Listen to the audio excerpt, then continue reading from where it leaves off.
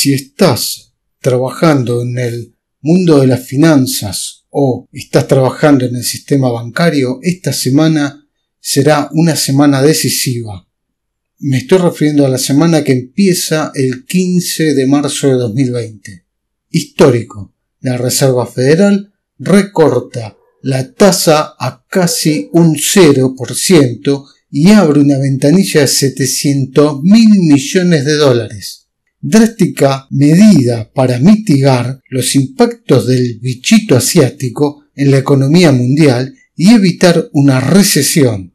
Coordinará la Reserva Federal acciones además con otros bancos centrales. La tasa de fondos federales baja a un rango de entre 0 y 0,25%. Las medidas tendrán vigencia desde mañana 16 de marzo de 2020.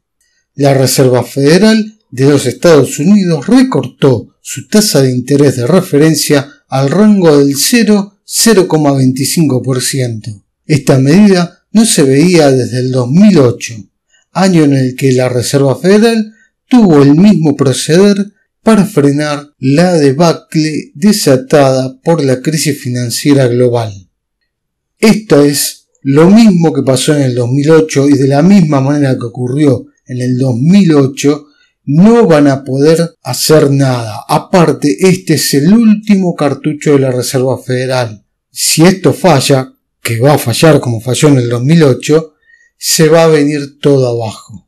Este es el motivo por el cual soltaron el monstruo del bichito asiático para tratar de contener un poco la locura que se va a desatar en los próximos meses.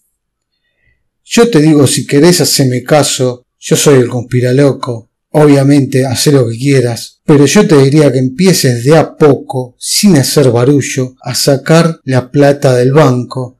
Y esa plata invertila en cosas tangibles y que sean útiles, como propiedades o cambiate los muebles de la casa o algo por el estilo. Pero trata de proteger esa plata porque dentro de unos meses todo se va a venir a pique. Y te digo, desde ya anda empezando a meterte en el tema de las criptodivisas porque es lo que se viene.